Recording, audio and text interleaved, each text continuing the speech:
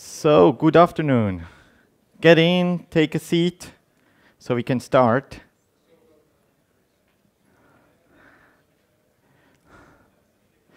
Well, um, I have the pleasure to talk about some things in the Spring ecosystem. And my talk is called Exploring Spring Boot Client, which actually like will take you back a little bit in time and also explore like what the new things are there. And you probably have seen today a few talks already where they were using AI and things like that. I'm not going to use that. I'm going to show you like things which were there in the I mean, in the past, which are still there and so on. And I will also give you in the end some advice like which kind of clients you should actually use these days.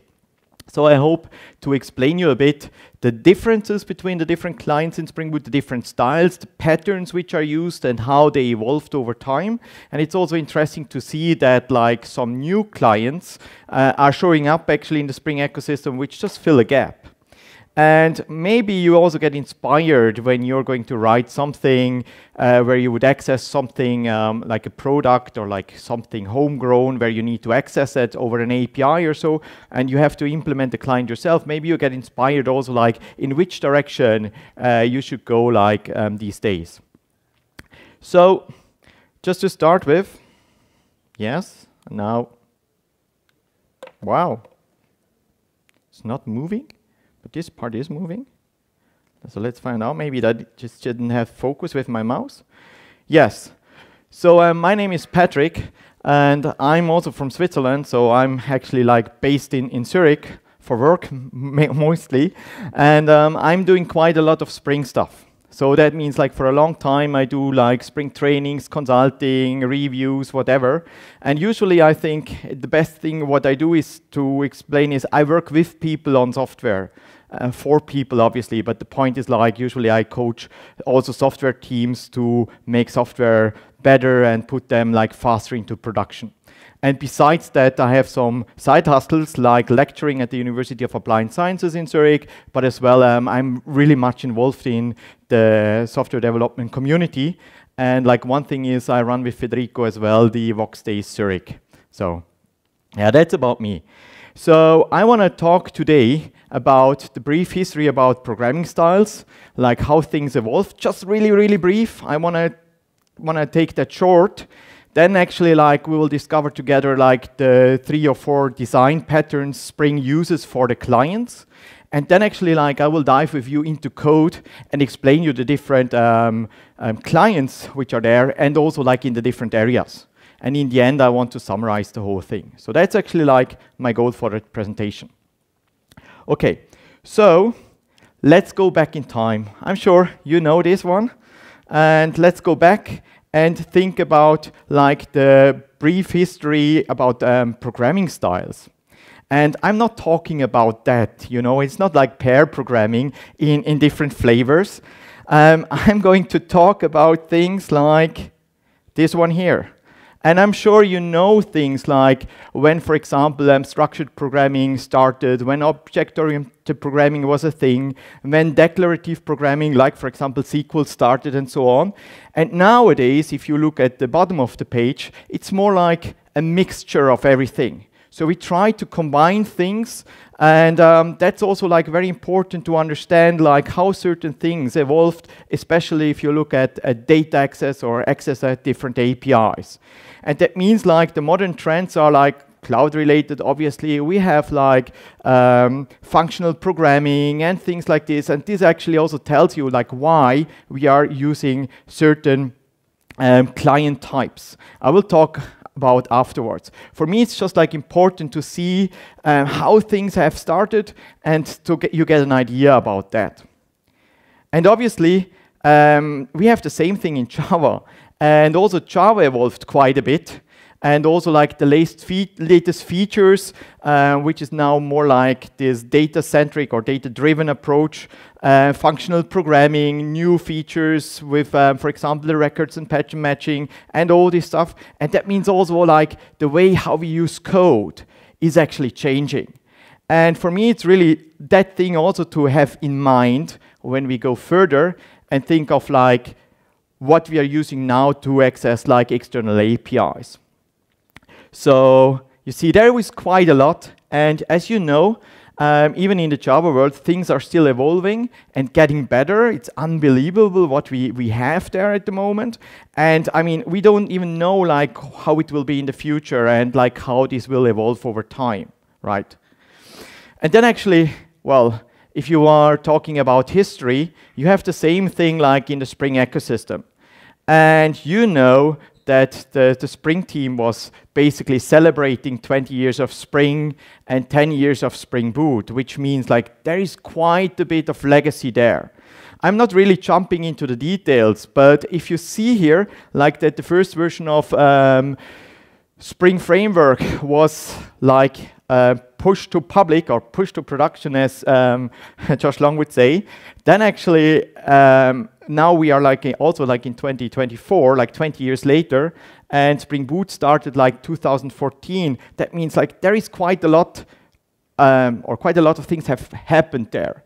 And for me, the thing is just like that you memorize that everything started in 2004 with the first major release.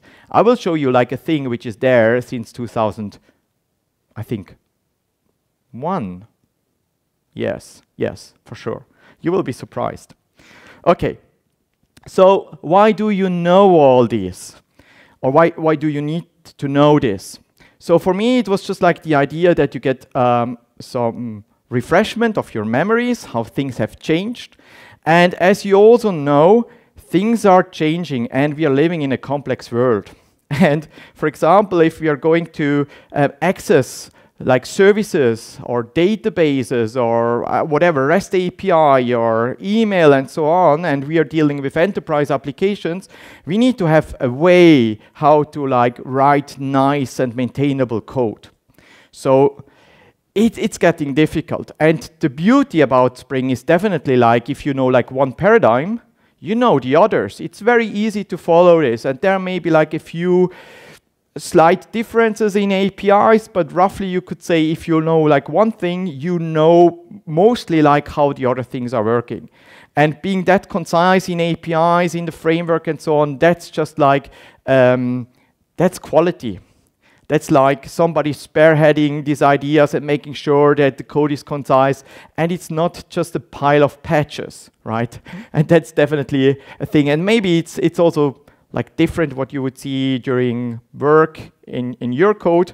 But um, I would just say, hey, our life is actually complicated. Applications get more complex. Now we have new APIs like all this AI coming and so on. And, and obviously also like we don't know what's going on in the future.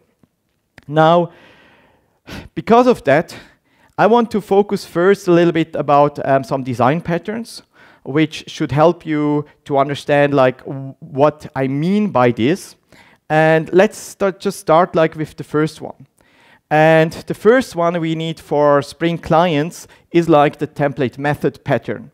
You probably know that, that um, there are many templates in the Spring ecosystem, and actually it's a behavioral design pattern, and it's just like a skeleton for something to abstract and hide code away. And I think it's a very powerful thing if you know how it works that you could even build your own because it's super simple. Um, usually, well, as the definition says, you would actually subclass um, the template um, thing and would implement a specific implementation.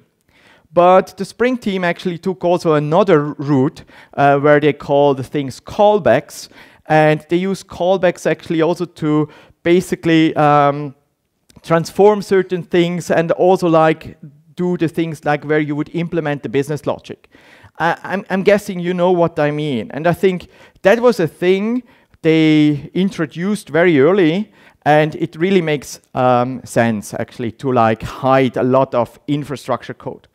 And imagine like if you have to deal with resource management, with error handling and all these kind of things, it's really nice that you just can do it like once and everyone who is using it can leverage from the things you have learned, probably in production, right?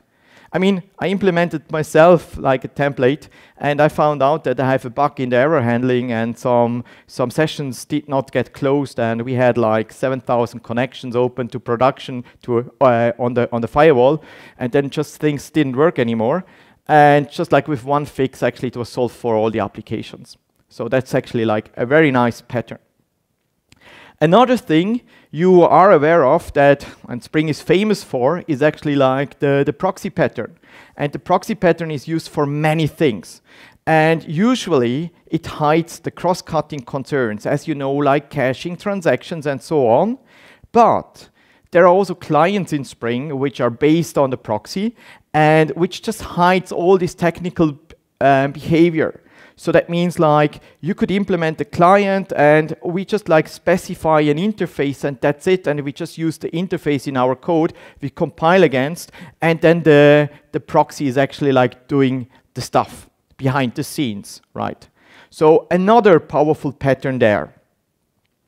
And then actually like the thing which is probably the newest one, and also because of the programming styles I said before, is actually the builder pattern because, and we will see that also because, for example, the template pattern is like too verbose.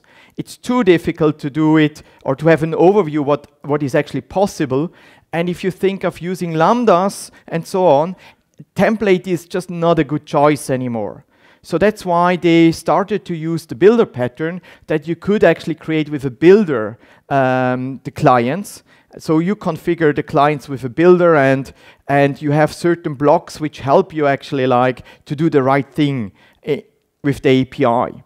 And then the nice fluent interface actually like makes the code also better readable. And it provides quite a lot of um, flexibility and control as well. So that's also a pattern, right? And then there is a pattern you know also for sure because that's something we love in IT. It's the facade. So if there is something we don't like, we just put the facade on top of it so the world looks nicer, right? and uh, we just can forget about the technical implementation and we just deal with the facade. And obviously it helps with the cognitive load we have.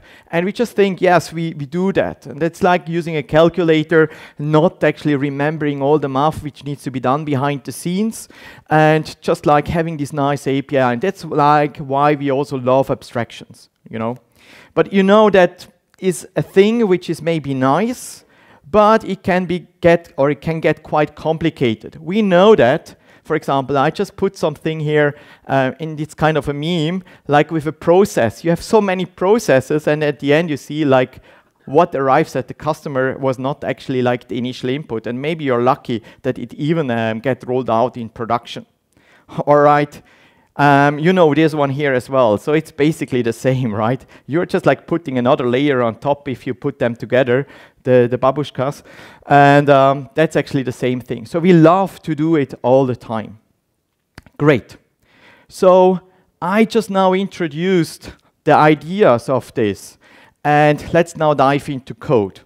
So for me, um, it's the time actually like where I go into the IDE and I just show you some code. I'm not like Josh Long who can do like live coding and talking all the time. I'm just a human and a man, right?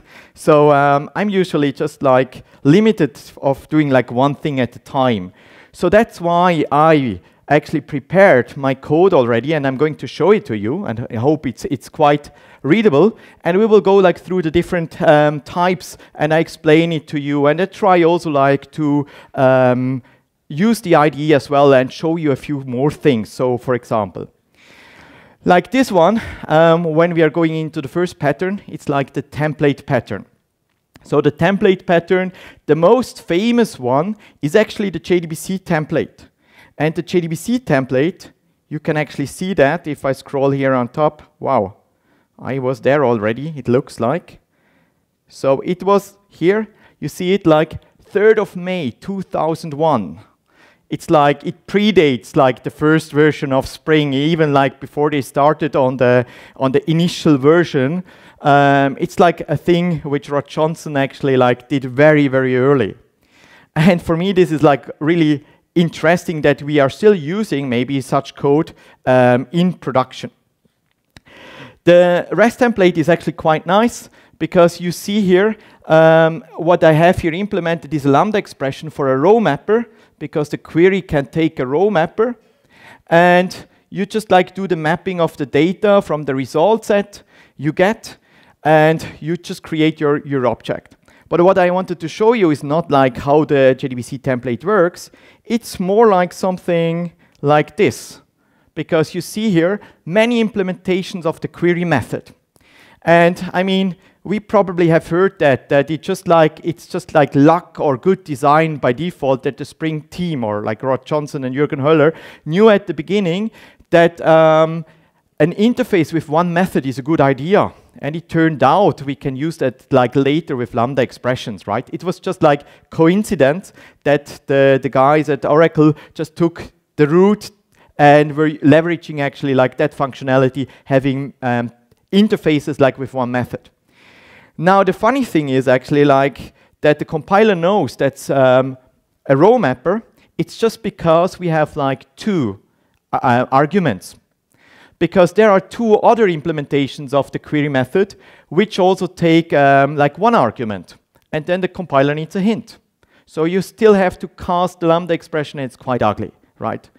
Uh, another thing is actually like you can do here in the query method funny things like, for example, oops, I should have done it here, like query for object or query for list or query for stream and so on. So there is like lots of different possibilities. You can even like manipulate the prepared statement and so on, getting like the keys generated um, from the database for your ID and stuff like that. So like it's a very um, extensive thingy. Right. So, and probably it's also the most famous one. And because you know how the thing with the callback works, lots of templates are implemented like this. Okay. So, then actually like, let's go back to my presentation. And that was like the first one. So the, the great thing about it, it, it hides a lot of infrastructure. We have the typical template pattern or template method pattern, like with the second implementation for named parameters, for example. We have a huge list of methods and, and so on. And the great thing is, is definitely you can have like full control over your SQL. Uh, obviously, you have to basically um, use the right dialect for your database. It's not that like a thing, it would automatically convert to the right dialect like Hibernate would do and so on. And it's thread safe, so you can have one per database, basically. Great. So then there was a time where they thought, hmm, we, we want to make it um, more simple, right? What means simple? So a little bit later, they integrated something which is actually called this um, implementation here for the um, simple JDBC insert. So if you think writing actually your code is too yeah, let's say too verbose with all these insert statements, you just can use this um, simple JDBC insert class. You provide a template because the underlying technology is a template. And then, for example, with this bean property SQL parameter source, um, the, the object or the fields will be mapped automatically as parameters and you just can insert it into a table. And I used here the example that you can generate it uh, with an ID, and the ID will be returned, and you could actually like get something back. Not this one here with the ID, but the next one here is using actually like the key holder, for example, or you could actually directly go to the ID and, and extract it as well from this um, simple JDBC insert. So this is just like making it easier to insert a lot of data and even like batch inserts were done like this. And you don't have to write code as you saw, right? So it's, it's really a nice idea. There is a second one. There is the one which is called this um, simple JDBC call. And this one actually is used to do some, um, let's, let's name it, um, functions uh, in the database. And that means like you can call those functions with a name, you can have input parameters and output parameters, and that's basically it. But you have to store the SQL statement basically in the database. And it could also like retrieve some parameters out from the metadata. It really depends on the database you're using. The fun thing or the interesting thing about it, it's something which is there um, or which was added a little bit later. And it, it got added actually like in Spring 2.5. And it's also like a thing which makes life easier because they thought we need a, a, an abstraction on top of it. And they called it at that time, and I think like Spring 2.5 was around 2006, 2007 ish, um, Fluent Style. And we haven't been talking about that time already about the Fluent APIs. They just called it, it's a Fluent Style, and we want to have like a, a, a nicer abstraction on top. I'm not sure if you know about the two things here. Um, they are basically the same, they come from the same time, and they are just on top of the template. And sometimes um, the metadata processing is quite nice. If you have a good database, they can actually guess a few things there automatically. Great. So making things simpler. Now, um, another pattern, if we stay in the database space, is actually like the Spring Data approach. And there in 2011, um, they had this idea to basically implement something called like the generic DAO pattern in the Spring ecosystem. So Oliver Drotbohm at the time was already doing that with Spring, implemented that like with his own uh, open source project, and then actually like the Spring team reached out to him and said, do you want to contribute that to the Spring ecosystem? Let's make it official. And I mean, 2010, 2011 was a time where NoSQL databases got very prominent. They started um, popping up everywhere. I mean, I'm not saying they were not there, but it became a hype again, right? And since then, they are um, implementing quite a few modules and technologies with this pattern. So just that you uh, are able to see that, oops, that was the wrong key thingy. Um, I have done that as well here in the repository, and that means like you can just like um, defined by keywords in your query. For example, here, find by name contains, and that's like a like statement in, in JPQL. Um, you can generate basically behind the scenes the JPQL statement from that name.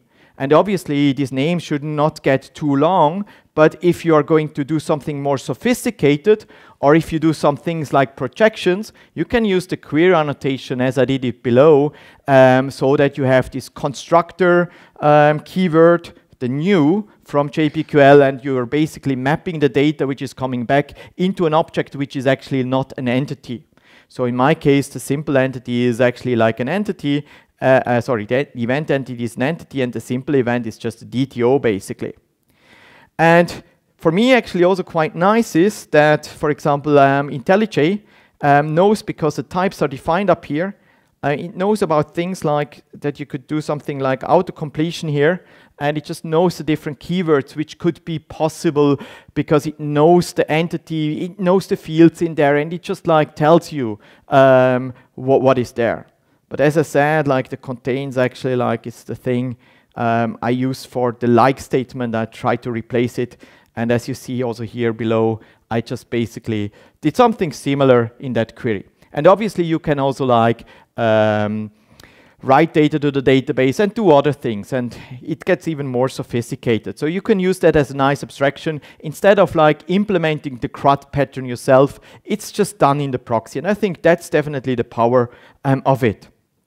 Right. Great. So what's then the next thing? And I mean, I said this was like 2011. There was nothing for a long time until like the last release of the Spring Framework, where they introduced something like a client. And people were asking, is there something like the web client we have in the, in the web world, in the Spring MVC world? Can we do something like this? Can we have an abstraction? Can we have a Fluent API? And as you can see here, the JDBC client is just such an example where we have this client type implemented. And with the Fluent API, you can nicely combine the things you want right? You can do things like, uh, for example, here in the query, you say like how things are mapped because like the result set has like the columns, like the, the fields in the object, it will be automatically um, translated. Below, you see the same thing, but I just implemented here um, the row mapper interface as a Lambda expression, and it's basically like the same what we, what we see um, with the JDBC template also same issues there. For example, if I would use a row callback handler or a result set extractor, I would have to cast. So it's just like a nice API on top of it, right? Um, maybe you ask yourself, like, how do I get such a, um, a, a JDBC client? Because I have not been talking about that. It's actually just like a Spring Boot feature, which you could use. And let's Let's give me a second here. Yes, I mean, I just use here constructor injection and Spring Boot with auto configuration actually configures that automatically for you. Same like with the REST template, exactly the same way Spring Boot does it for you, it's there. And if you're going to check like what's below, is you would be surprised because even, or maybe not, because even internally, if you would have a look at the implementation, you would actually see that you could create a JDBC client from a data source. You can see also that you can create it from a JDBC template or even from a named JDBC template. And actually, like what's used internally is just really like the named JDBC template because um, the JDBC client allows you to use named parameters, but also like the question marks. So it just does actually both. And Spring Boot creates that for you automatically, but you could create it on your own, but you don't need to if you, right, if you don't need to. So it's, it's quite a simple thingy. Great. So let's summarize that part. So the JDBC client was introduced in the last version of Spring. It's a Fluent API. We have auto configuration from Spring Boot 3.2. We have the typical approaches, and basically it's a nice abstraction on top of the JDBC template. And as I said, it's using it internally. And it's a new thing, and if you start going to write new code, I would highly encourage you to use the, the client because it's so much nicer actually to read, as you have seen in my examples. Great.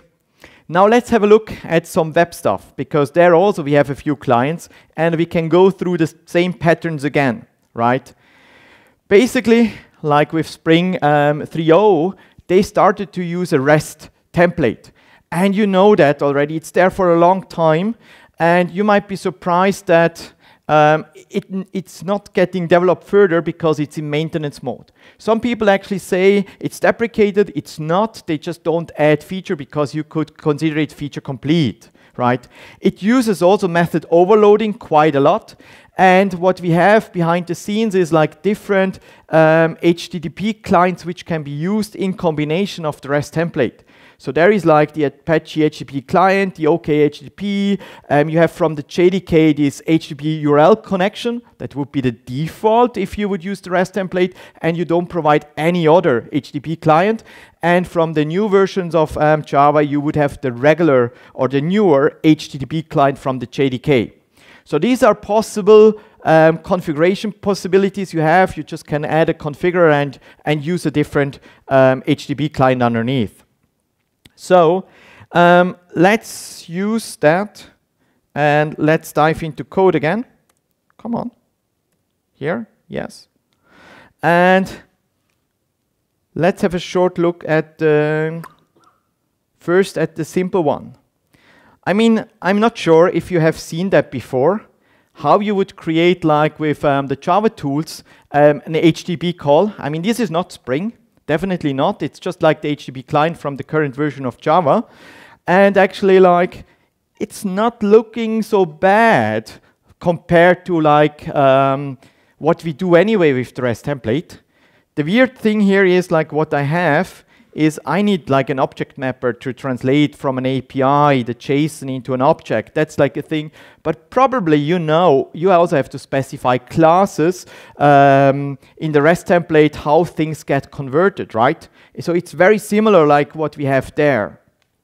And if you use Jackson to doing the, the object mapping, then actually like um, you should also almost know this kind of thing here, this type reference, just to make sure that like the list of events get passed as a as a as a class information so actually they can use it because usually generics get uh, removed but on the on the class level um, they stay. So they can read from the type reference these these um, types and then convert the things into a list of events as you see also up here right?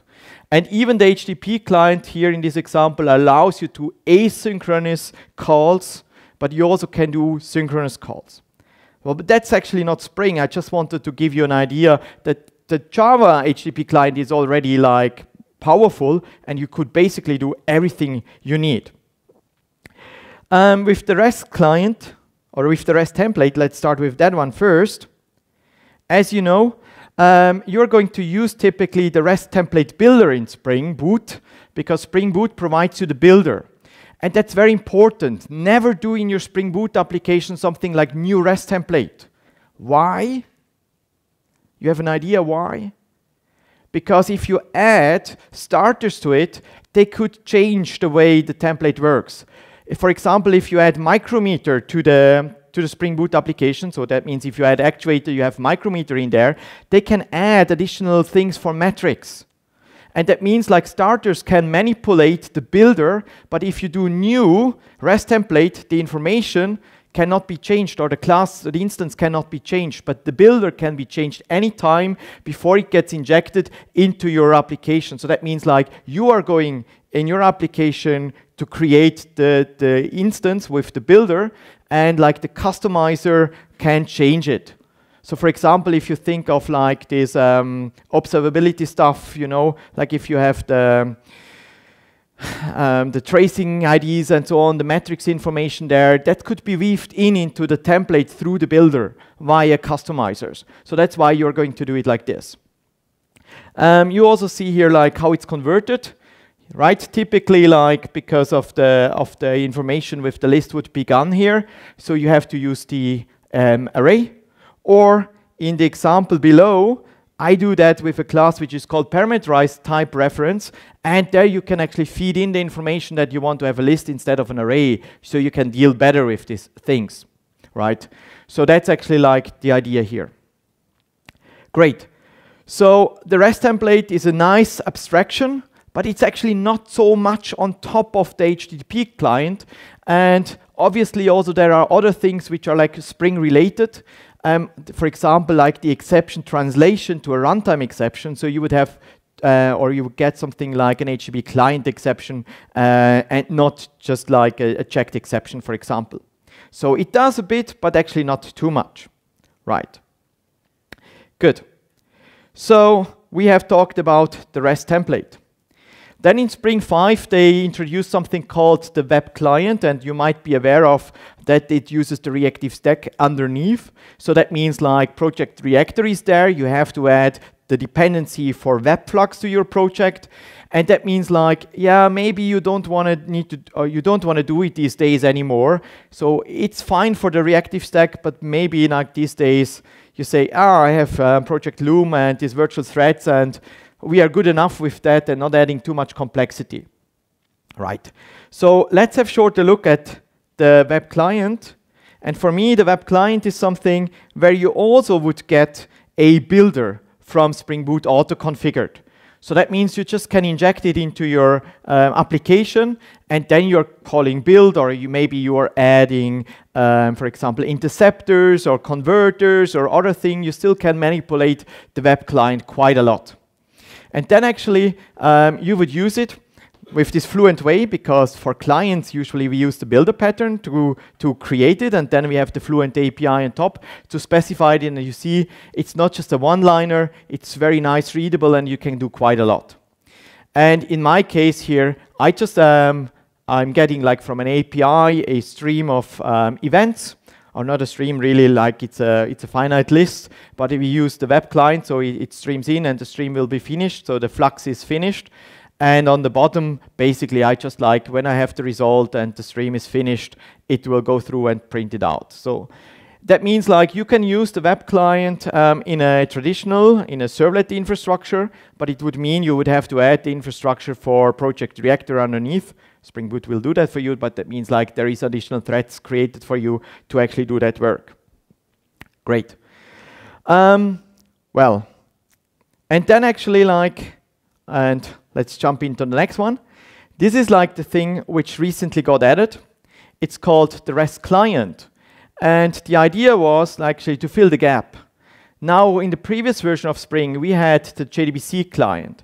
Now we, we got the web client. You have other clients like in, in, in, in several areas. And they said, could we not have such a nice abstraction with a very similar API like the web client, but just in a synchronous way? And that's like what you see here. So the REST client actually got also um, created by Spring Boot auto configuration with a builder. So you inject the builder, uh, you could change the builder, you could have a base, uh, base URL there, um, you can do more things there obviously, but then you do something like get, post, put or delete, and you just like send the information, right? And you could imagine it leverages the same base infrastructure underneath like the, the REST template. But be aware of the default implementation of the REST client uses the HTTP client and not the HTTP URL connection. HTTP URL connection is something like from the history, and they said we are going to use the new API, or we can also use like the Apache um, HTTP client and so on. When I was talking about the web client before, I actually said, or I missed to say, there is actually also um, two options to um, specify the infrastructure below. I think Jetty and Netty both have a reactive implementation of a web client. So you can actually change that if you like, right? And as we do in the, in the REST client, we also have like the options just like to choose one, right? And then you have this nice API and very similar, what you see is basically, I just like scroll down here, if you want to get something back, like a list of events, man, it's the same thing like on the REST template. You still need this parameterized type reference to instruct the REST client to return a list instead of like the array of, of events, right? So basically you see it's just an abstraction on top. We didn't, we, we didn't win much, but actually we can read the things like way better. So that's, that's like the, the thing, yes. Okay, so let's go back to my presentation. And yes, you see on my slide the Fluent API, the auto configuration, and the different um, clients there. And actually, um, the next one I'm going to talk about is something called the HTTP interface client. And the, the nice thing about the HTTP interface client is you don't have to go that low level. You can do more something like um, you do with Spring Data. You specify just an interface and the infrastructure will be um, generated in the proxy for you. Now, the, the nice thing about the interface client is, since like the last release of the Spring Framework, is that we can actually not only use the web client below, but we can also use the synchronous infrastructure like the REST client. And that's really nice because that's actually like configurable. So you can use like one or the other. And I just also jump into the code so you get an idea of this. And I have implemented it like here in this example. And you see here that um, we are going to specify, well, let's start simple. You are going to specify the interface. You say it's a get exchange and get exchange is actually just for the client. It's very similar to what we have like with the get mapping in the MVC controller. And you can specify paths here. You can specify, uh, for example, headers here, like um, when you do request. So here, accept header, URLs, and so on. So you can actually customize those. And that means like if you just specify that interface, now you need to make sure that somehow the proxy is created for you. And what is a little bit weird these days still is actually you have to deal with this HTTP proxy factory to actually like create the proxy for you so that you have afterwards this kind of thingy and you can create from the factory afterwards the, the client. And the problem there is, or the problem, well, it's not real problem, it's just verbose. And the Spring, the Spring Boot team has not decided yet to create for you a nice integration. So they will generate that for you behind the scenes, like via properties and so on. I checked yesterday the issue, and there are some discussions going on since two years. But the thing is, like, they recently updated it, I think last week, and they said they are currently discussing it to make it into Spring Boot because we don't want to write that code. So be aware, you could uh, that thing could change, right? And in the end, what we are going to do is, it's we are just calling the interface method and actually like the conversion from JSON to your list of events, for example, will be done behind the scenes just because it's, it's defined on the interface and the proxy will do all the magic for you behind the scenes. It's a really, really nice approach to specify a client without doing like everything manually. Right. Then the other thing is actually like the, the REST client implementation. Well, actually, there is not much which is actually different it's basically just like that you say build a for REST client adapter.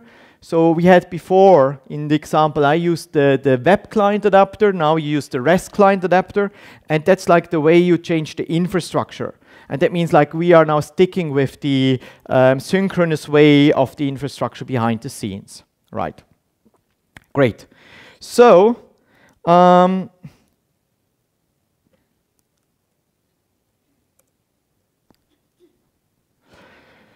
So we got all these implementations, and this is really like the newest one. And I would actually tell you if you're going to do like REST calls, just use the REST client these days. Don't use the REST template. Don't be afraid of the HTTP client. That's also an option. That's fine. But what for me is actually interesting is, is the REST client really a REST client? Or is the REST template really a REST template?